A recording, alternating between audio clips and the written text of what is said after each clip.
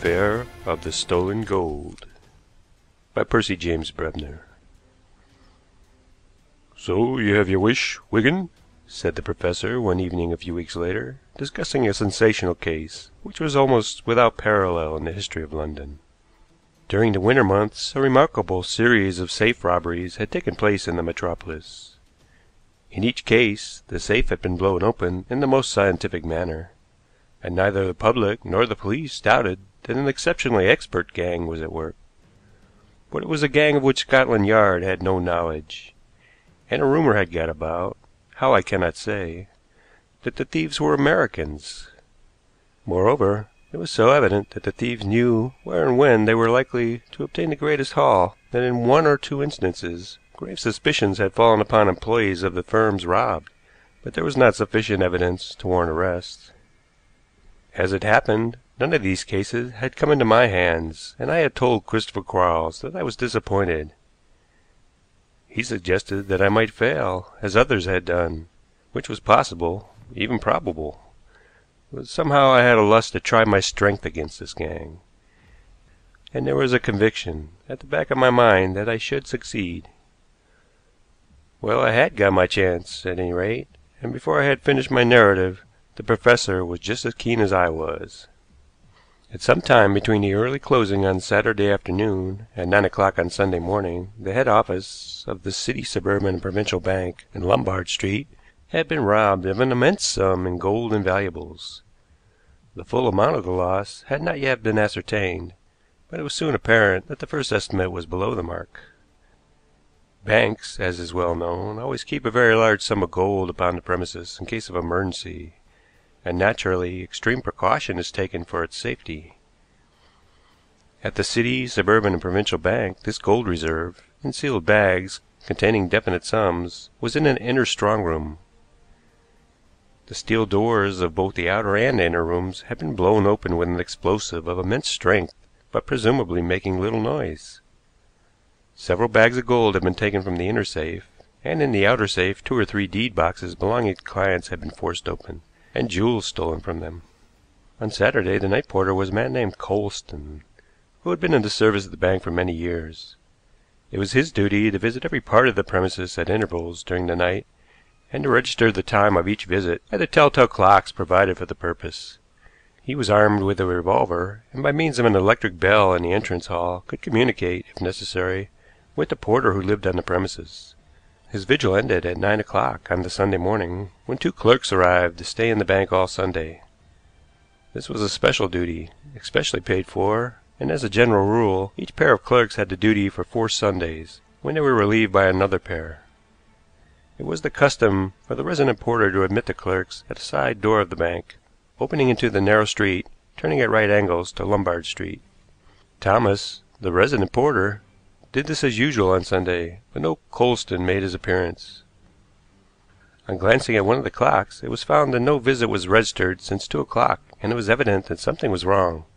The clerks, with Thomas the porter, went at once to the strong rooms and found the ruined door and Coulsdon lying, gagged and unconscious, in the outer safe. Urgent messages were at once dispatched to one of the directors and one of the three general managers, who were known to be in town. "And to day is Wednesday," said Quarles with a lift of his eyebrows. "The thieves have a long start. Now for details, Wigan." "The porter, Coulsdon, did not regain consciousness for some hours," I said. "He can tell us little. To reach the strong rooms you have to descend half a dozen steps, and as he reached the foot of these he received a blow out of the darkness, whether from a weapon or a fist only he cannot say, but the effect was stunning, and he cannot swear what happened afterward. He thinks something was thrown over his head, but he really remembers nothing from the time he was struck to the time he woke up." "An old servant of the bank, you say?" "Yes, but only recently moved to London. He has been a porter at the Leamington branch." "There is a disposition to suspect Coulsdon," I went on, "and not without reason, seeing that he is a big, hefty man, who might be expected to give a good account of himself. But there is a curious complication. About a month ago a clerk named Frederick Ewing was summarily dismissed he had been in the bank some years, had risen in the service, and was trusted. He was in the securities department, and had considerable knowledge of the methods used with regard to the strong rooms. It was discovered through a sudden and unexpected inspection that certain small sums had been taken from the petty cash of this department. Only Ewing had access to this money, and, as a matter of fact, he confessed. He had only borrowed the money temporarily, he said, and pleaded earnestly that drastic measures should not be resorted to. However, since the integrity of a bank official must be above suspicion, he was dismissed at a moment's notice. He was not prosecuted. "What has become of him?" asked Quarles. I can find no trace of him at all. He had lodgings in Hammersmith. He returned there after his dismissal, remained there until the next day, and then went out, saying he would be away for a couple of nights. He has not returned, nor has a search in his rooms disclosed any clue. He appears to have had no friends and received hardly any letters. Quarles nodded his head thoughtfully for a few moments. "How did the thieves get into the bank?" he asked. "Through a window at the top of the buildings, which gives on to the roof," I answered. "One of the bars to this window was wrenched out, and the roof outside shows that men have stood there to accomplish the work. The bank is not an isolated building. A journey from its roof to the roofs of the adjacent buildings is not difficult, and I am working on the hypothesis that the thieves entered the adjacent block of offices and crossed the roof. There are two facts which seem to support this idea. Quite recently some repairs to the roof of the building became necessary, and two men were engaged upon it for three days. They may have been members of the gang, and it is curious they have left the employment of the firm which had the work in hand. So far I have failed to trace them. Uh, again, an office in this building, occupied by a man named Bowman, calling himself a mortgage broker, has remained closed since Saturday. Bowman has not been there very long, but until now has been a regular in his attendance. I am inclined to think he will not be seen there again. How much do these bags of gold weigh?" asked Zena thoughtfully. They are very heavy, I answered. But how was the gold got away? said Zena. I can only surmise as to that. I said with a smile. The street which runs beside the bank is somewhat dimly lighted, and almost opposite to the private door of the bank there is an archway leading to a small yard and the premises of Thorne & Co., wine merchants. The archway is closed by a gate. The locked gate would present small difficulty to a gang which had carefully prepared their scheme, and very likely a motor car was driven under this archway, ready to take the spoil away. It is possible, but I should want to find out something more about Frederick Ewing said Zena. I am inclined to think that is a suggestion worth consideration, said Quarles. This is a case in which one looks for negatives to a series of propositions. We may ask first whether a gang, however expert, could have carried out such a robbery, knowing when and where to go and what to take, without some help from within. The answer seems to be no. Was that information obtained merely through somebody's indiscretion? Hardly. Only a few people would be capable of giving the necessary information. Coulsdon, the porter, might give it. Did he? The fact that he was knocked insensible does not exonerate him.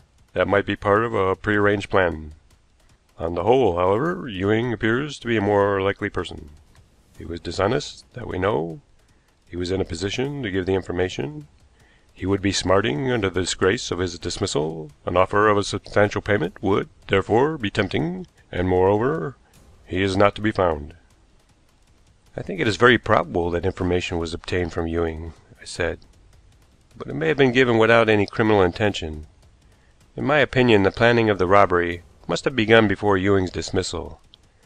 Besides, though I have failed to trace Ewing, I do not find anything against him beyond this matter of the petty cash. There are no debts worth mentioning, and no entanglements of any kind, apparently." "So we get no definite answer regarding him said the professor. "We must, so to speak, put him aside for further consideration. Let us get back to the gang for a moment. That money would require a lot of moving, Wigan. Assuming Coulsdon to be honest, the door of the strong room was intact at two o'clock on Sunday morning. The telltale clock is a witness to this, and seven hours later the alarm was given. I do not say that a motor car might not have been loaded as you suggest and driven out of the city without attracting the notice of police, but if you ask me whether it is likely, I must decidedly answer in the negative." "The fact remains that the gold was got away," I answered. "You cannot alter that." "Our methods sometimes clash, Wigan. You make a theory to fit the facts. I get a theory first, and then look for facts to fit it. I grant yours is the more orthodox method. Still, What is considered orthodox has sometimes been shown to be wrong, and as for facts, well, if I choose to think that this gold has not left the city, how can you convince me beyond all dispute that it has? You can't. You do not know. For instance, it might be concealed in this man Bowman's office. Say you are able to prove that it isn't. There are still many other offices in the building where it might be hidden, ready to be got rid of gradually. At this stage of the inquiry, at any rate, we are not prepared to guarantee the honesty of all the firms in the block of buildings adjoining the bank." "So that is your theory?" I said, somewhat impressed by it, I admit. "No, it isn't," said Quarles. "I was merely showing how unstable was your central fact. No, my theory is quite different." "May I hear what it is?" "I agree with Zena. Continue to hunt for Frederick Ewing. Get a dozen men on the business, if you like. Instruct them to pick up the most trivial item of information concerning him. Run his companions to earth, find out all about his debts, however small they may be. That's the line along which you are likely to pick up the clue. If you can manage to put another detective on the job with you, I am a candidate for the post. I should like to see the strong rooms and the window, and ask a few questions." My suggestion that Christopher Quarles should be associated with me in the inquiry met with some opposition. The officials of the bank seemed a little nervous of too much publicity. The fact of the robbery, quite apart from the actual loss, had injured the bank considerably.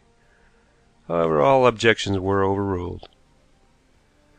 When Quarles and I went to the bank, we were requested to walk in and see Mr. Wickstead, who was one of the three general managers, and he very graciously apologized to the professor for the difficulties which had been raised. "I need not tell you this is a very serious business for us," he said. "The loss, large as it is, constitutes the least part of the damage. Clients, naturally enough, are anxious about the security of their own property, and already some nervous persons have removed their deed boxes." "I can quite see the necessity of precaution," said Quarles. "You may rely on my discretion. May I ask whether the full amount of the loss has yet been ascertained?" "Yes, I think we have now got to the bottom of it." "The securities, deeds, bonds, and such like, have they been tampered with?" "No. The gang must have possessed wonderful knowledge," said Quarles. "Marvelous." "May I take it, Mr. Wickstead, that there is no suspicion of collusion with officials in the bank?" "You may. Of course you are aware that we had to dismiss a clerk recently." "Yes, who could not be found. I understand that he would be in a position to give the necessary information if he chose to do so." "That is true. He was in a position of some importance." "With regard to this gold reserve, how often is it examined?" asked Quarles. "At intervals, now regular intervals. The unexpected inspection is generally considered the best. We have a staff of inspectors for this purpose." "My point is this," said Quarles. "Might the robbery of this gold extend over a period of time, several weeks, let us say, a bag taken to day, for instance, replaced by a dummy one, perhaps, and another bag taken in three days' time, and so on?" Mr. Wickstead smiled. This reserve is kept in an inner strong room. Three keys are necessary to open the door, and these three keys are kept by three different persons. I have one. Three of us have to go together to open that inner room." "Ewing would never be there alone, then?" "Certainly not," Wickstead answered. "For my part, I do not believe Frederick Ewing had anything to do with the affair at all. The circumstances of his dismissal naturally make him suspect, but I think that offense was the beginning and end of his dishonesty." "Yet he has disappeared?" said Quarles, "and it looks as if he had taken the extreme care to leave no clew behind him." "He would feel the disgrace keenly, I imagine, and would wish to efface himself," the general manager returned. "There was no question of prosecuting him, I suppose?" "One of the directors suggested that course, but it was decided not to do so." "Could Ewing possibly have heard that a prosecution was contemplated?" asked Quarles. "That would account for his complete disappearance." He certainly could not have heard of it. I'm sorry for Ewing, indeed. I tried to get the directors to reconsider their decision and give him another chance. It is a terrible thing for a man to have to face poverty and degradation like that. All I achieved was to get laughed at for my sentimentality. "Then you would still trust Ewing?" I would," Mr. Wickstead answered, with deliberation. Quarles and I then went to examine the strong rooms, which were empty now, the securities having been removed to other rooms. A constable was on duty in the passage leading to them, and materials lying about showed that the work of fitting new doors was to commence at once. Quarles put on a particularly heavy pair of spectacles and produced a high powered pocket lens as well. He examined the locks and hinges of the ruined doors, and the various bolts which were thrown by the action of the turning keys. He carefully scanned the marks and the ruin which the explosion had made, and also the steel bound holes into which the bolts fitted when the doors were fastened. Both the inner and outer strong rooms were examined with the same close scrutiny, and I pointed out to him the spot where the porter, Coulsdon, had been found, and where the rifled deed boxes had stood. Had the boxes been blown open? No, forced open, I answered. I am not sure what explosive was used upon the doors, Wigan. Gelignite or some similar preparation, I suppose, but it was powerful and peculiar in its action. How about fingerprints? There were none on the doors. Either the explosion destroyed all trace or the men wore gloves. I suppose men of an expert gang would take that precaution? They would be likely to think of everything. Yes, but since the gang is entirely unknown at Scotland Yard, that might be considered an unnecessary precaution, eh? He turned his attention to the ruined doors of the inner room again, picking out minute pieces of debris from the lock with a pair of tiny forceps, and examining the pieces under the lens. I cannot be certain what explosive was used, Wigan, and the light here is bad. I will examine some of this dust at home. And he emptied the contents of the palm of his hand into a small envelope, which he folded up carefully and placed in an inner pocket. Then he examined the floor of the outer room and the passage without, picking up several bits of rubbish, but finding nothing of interest. From the strong rooms we went to the top of the building and examined the window in the roof. The window was at the end of a passage. Where do you suppose the thieves came from to get to this window? Quarles asked, after he had examined it and the roof outside. The window yonder belongs to the adjoining block of offices, I said, pointing across the roofs. It is quite easy to reach. We started to go to it, but had only gone a little way when Quarles stopped. You may find it easy, Wigan, but my legs are not so young as they were, and climbing a roof is outside their business. At any rate, you can see that it is an easy journey, I said. Oh, yes, for young legs, and it is not likely this gang is composed of old crooks. By the way, I think they must have got out of this window as well as in at it. Look at this scratch on the sill, a boot heel, I should say, and the position would mean that the man was getting out. It is not certain that the stuff was not carried across the roof, Wigan. I wonder whether Mr. Bowman has returned to his office yet. I have a man watching for him, I answered. It is a curious case, said Quarles as we went downstairs. I suppose you have inquired among the staff whether anyone knew Frederick Ewing intimately, visited him at Hammersmith, knew his private friends, hobbies, and so forth? Yes, nobody appears to have known anything about him outside the office. I should like to have a look at the desk he occupied. I suppose that can be managed. Permission was given us. The man who used it now got up to allow us to examine it, and Quarles again used his lens, going over the desk without and within. Was Mr. Ewing rather an untidy person? he asked, turning to the clerk. No, I don't think so. I hardly knew him.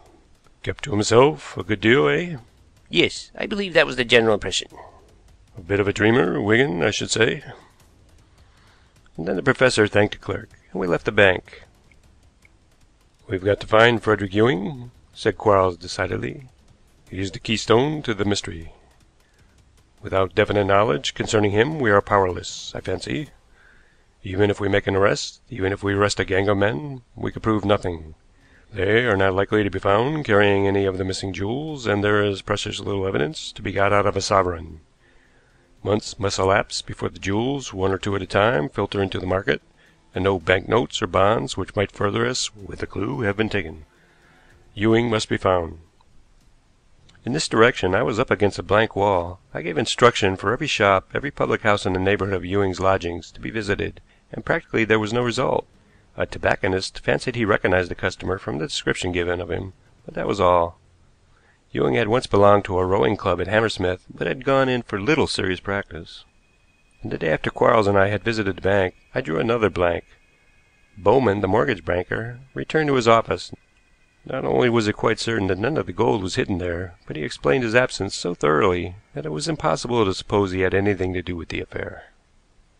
Two or three days slipped by, days of strenuous work which seemed absolutely useless, and then I got a wire from Quarles asking me to meet him at Chiswick Station that evening, which I did. Must apologize, Wigan, was his greeting. It's my temperament, I suppose, but I cannot help keeping a line of argument to myself until I find that it really leads somewhere. This was my theory with regard to Ewing.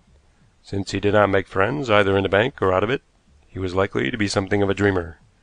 Such men usually are, unless they have some definite hobby to employ them. We heard of no such hobby in Ewing's case, and the fact that his rise in the bank had been rapid suggested a competent and conscientious worker. But he was a dreamer, all the same, a man looking forward to the future, and a man who dreams in this way usually looks forward to some definite point. In the case of a young man, and Ewing is not old, that point may be a woman. So I examined Ewing's desk. He was given to scribbling on it and smearing out the writing. There were a quantity of ink smudges, but some pen marks remained, figures for the most part, and I found a name Ursula. That rejoiced me. It might have been Mary, and for one Ursula there are, well, a great many Marys in the world. I looked for a second name, dreading to find Smith. I found Ursula Ewing. That was his dream, Wigan. But I also found Ursula Yerbury. If he were in love with Ursula Yerbury, which seemed probable, and she with him, which of course was not certain, then I argued she must live an easy distance from Hammersmith. If not, he would have constantly received letters from her, and we know that he received very few letters. Also, if they were in love, he might have deceived her regarding his dismissal, or she would keep his secret and shield him. Inquiry for her must therefore be made carefully, and I set Zena to work. A girl looking for a girl friend she had lost sight of. It proved easier than it might have been. We found there was a man named Yerbury living in Fulham. He was the third of the name Zena had tried, and he had a niece, Ursula, living in lodgings here in Chiswick. She is a typist, and should be home by this time in the evening.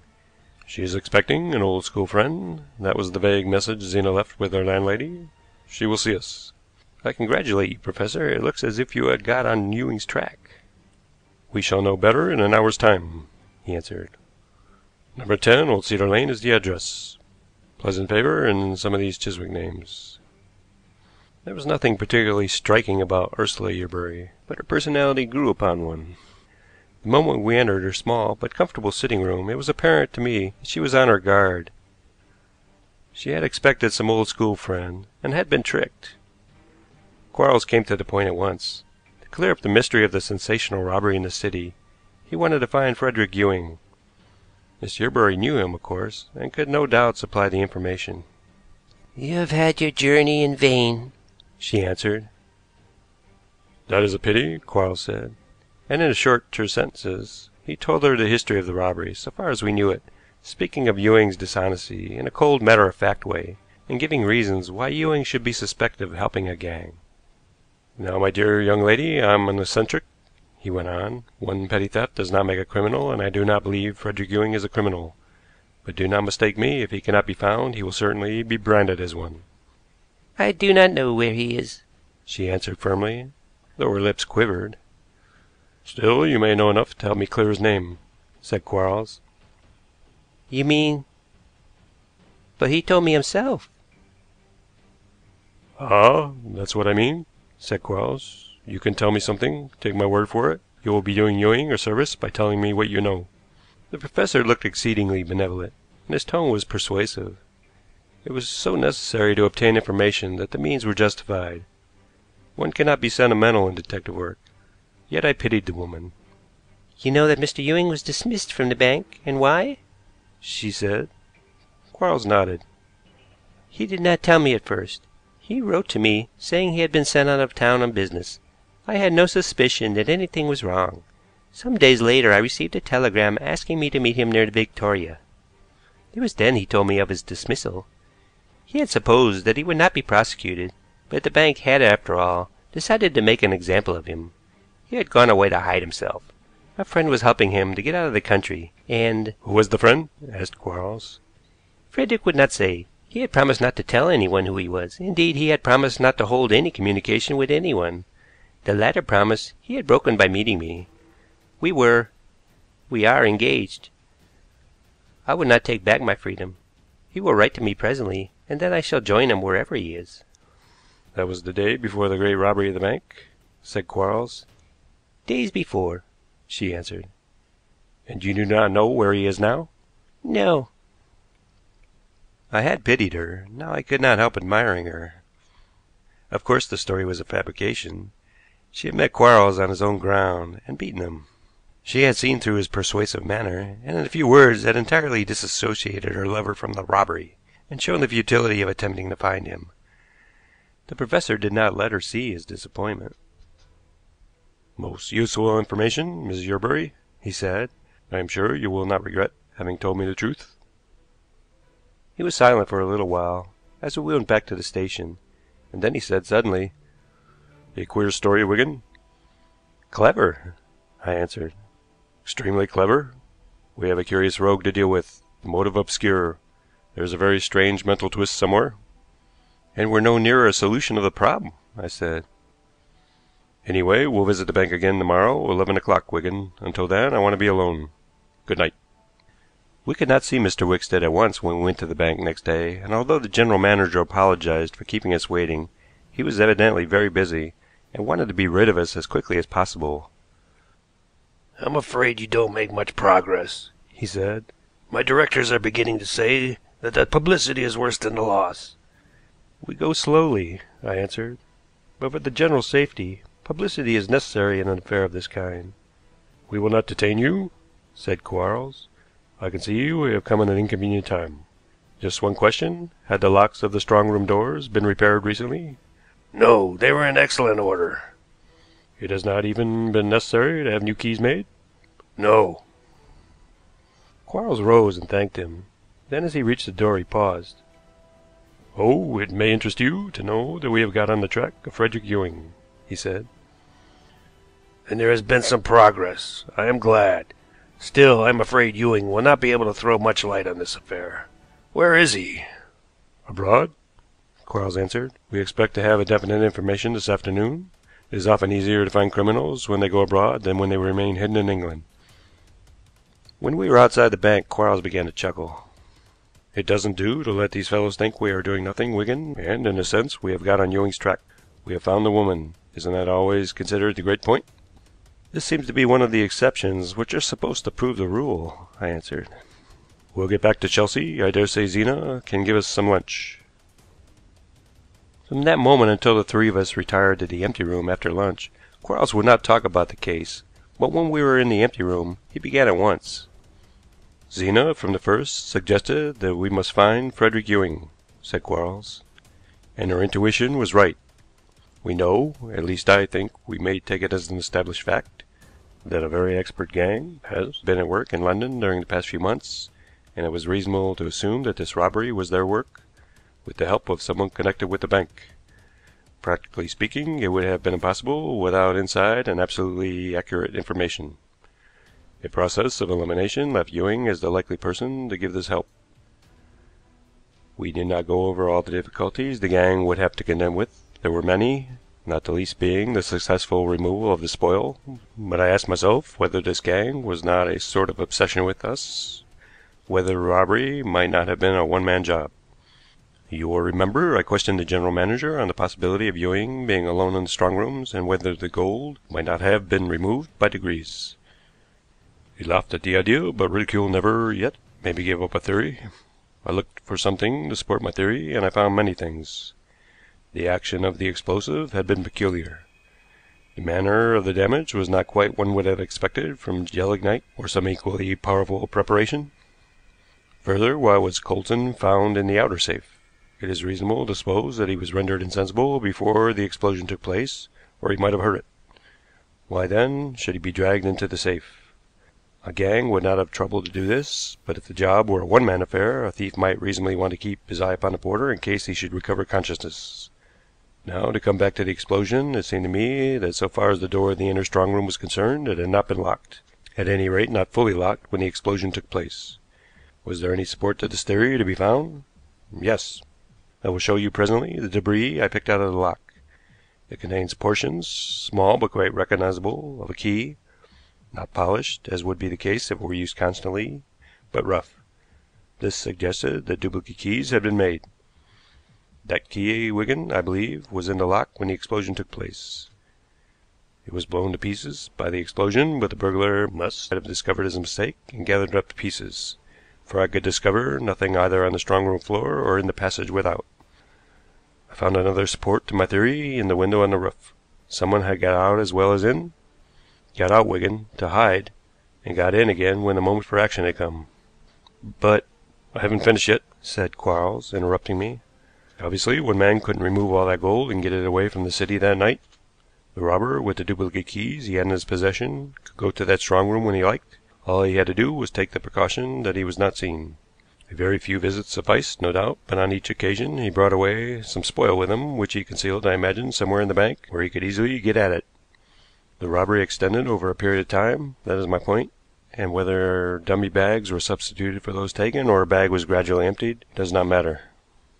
But, my dear professor, your ingenious theory overlooks the fact that if it were true there would be no use for the final catastrophe, for attacking the porter and blowing up the strong room. Ah, that brings me to the mental attitude of the thief. I think we shall find that an inspection of those strong rooms was imminent, and the thief was anxious, first, to make a last addition to his store, and secondly, to suggest the work of a gang, and so minimize all risk to himself. Besides The professor paused. There was a knock at the door, and the servant brought in a telegram. Quarles opened it and read it. Besides, one has to consider the mental twist a man may have, he went on. We shall probably find in this case that at the back of the robbery was an awful dread of the future, of the helplessness and poverty that might come into it, an abnormal morbidness which so constantly drives men to strange actions. But how could Ewing manage to conceal himself in the bank, or to get into it even? Everybody knew him. Everybody probably knew of his dismissal. How about the window in the roof? said Quarles, handing me the telegram, and I read: Left early this afternoon. Returned home. That refers to the general manager, Mr. Wickstead, said Quarles. Probably he does not intend to remain at home, but we may catch him there. I have a man watching him. I thought my statement that we had traced Ewing would frighten him. He is the thief, Wigan. He is also the friend Ewing spoke about to Ursula Yerbury. Don't you see the cleverness? He helped Ewing out of the country after frightening him by saying that a prosecution had been decided upon, sent him somewhere where he was not likely to hear of the robbery, and tried to throw dust in our eyes by expressing pity for him and a belief in his innocence. If you are right, what a villain! I exclaimed. An abnormal dread of the future, Wigan. I think we shall find that is at the bottom of it, and we shall probably find also that the whole of the spoil is intact. The law, of course, cannot enter into these curious mental attitudes. Come, I think we shall provide a sensation for the world of finance. The arrest of Mr. Wickstead he was on the point of bolting, and his subsequent confession certainly made a sensation, and, as Quarles had surmised, the whole of the money and the jewels were found concealed in Mr. Wickstead's house. The manner of the robbery was much as Quarles had imagined it, and there is little doubt that Wickstead was in an abnormal mental condition, but he was not mad, and was sentenced to a long term of imprisonment. Was a sad case altogether, the only bright spot in it being the marriage of Ursula Yerbury to the man she had trusted, in spite of his lapse from the path of rectitude. And the affair of the stolen gold.